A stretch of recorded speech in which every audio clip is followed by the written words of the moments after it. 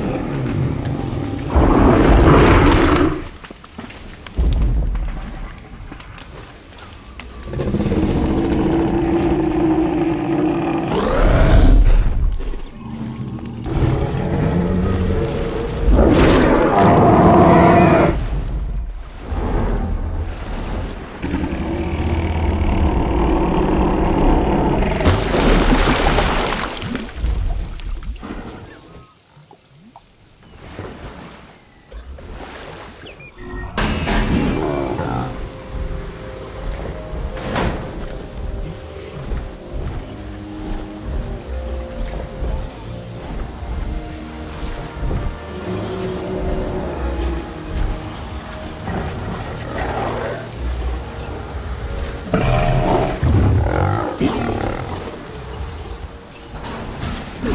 dinosaur, the Euoplocephalus, nice work.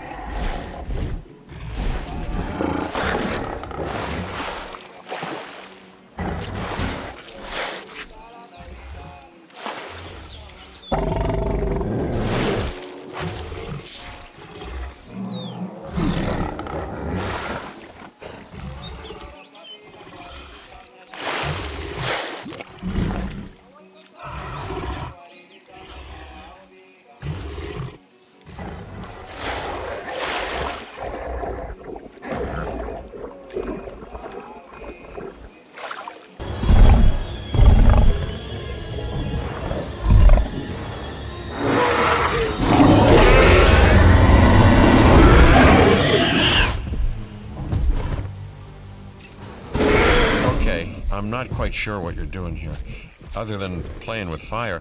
An Indominus Rex? You're creating a hybrid, a dangerous hybrid. You're not only creating life, you're condemning it. Hopefully, not your own.